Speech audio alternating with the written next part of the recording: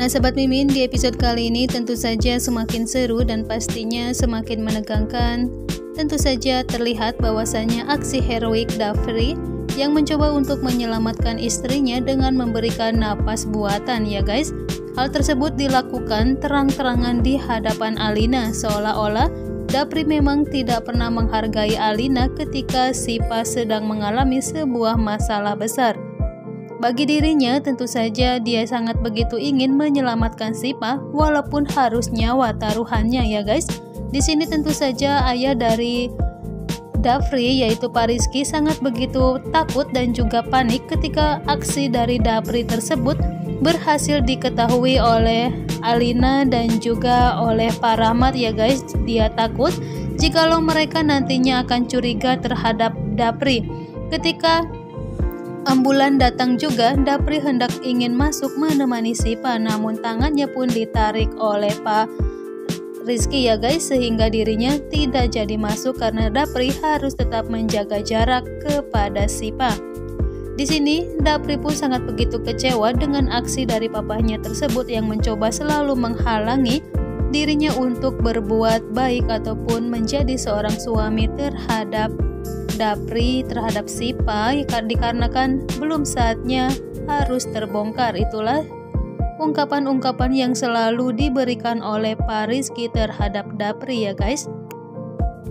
Nah Sobat Mimin kali ini tentu saja terjadi kepanikan di antara Dapri juga karena bagaimanapun nyawa Sipa masih belum bisa diselamatkan dan masih belum bisa dikatakan membaik karena kondisinya saat ini sedang masih dalam proses kritis ya guys apalagi Sipa sampai sudah mengeluarkan darah dari hidungnya akibat terlalu dingin dan terlalu lama berada di ruangan pendingin itu.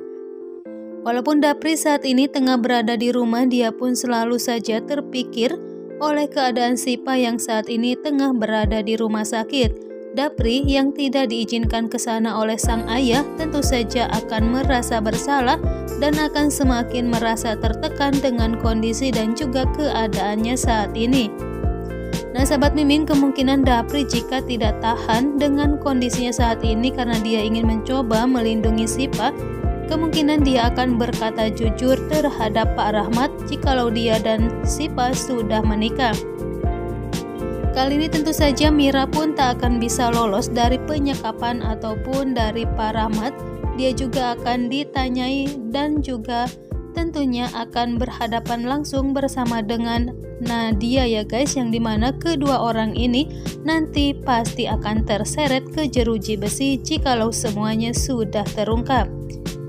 Nah sahabat Mimin, kali ini setelah si sadar pasti nantinya akan terbongkar bahwasannya Sipa anak dari Paramat dan juga tentang hubungan Sipa dan juga Dapri jikalau mereka sudah menikah. Hal tersebut dapat diungkapkan karena Dapri sudah merasa tidak tenang dengan sebuah hubungan kebohongan ini ya guys karena dia sudah nggak bisa lagi menahan keadaan yang terus-terusan memaksa dirinya untuk bersikap dan juga berbohong kepada semua anggota keluarganya. Dan jika Dapri memang sudah berterus terang, tentu saja keluarga dari Alina pun, terutama mamahnya, tidak akan pernah memaafkan Sipa lagi sebagai anggota keluarga dan mereka pun pasti akan membenci Sipa. Nah sahabat Mimin mudah-mudahan saja ya setelah ini Dapri memang akan mengatakan berterus terang kepada Pak Rahmat tentang hubungannya bersama dengan Siva dan di sini pasti ada hati yang terluka yaitu Alina. Dan kira-kira apa yang akan terjadi ya guys di episode selanjutnya? Saksikan terus kelengkapan alur cerita dari sinetron Tajwid Cinta yang tayang setiap hari hanya di ECTP. Wassalamualaikum warahmatullahi wabarakatuh.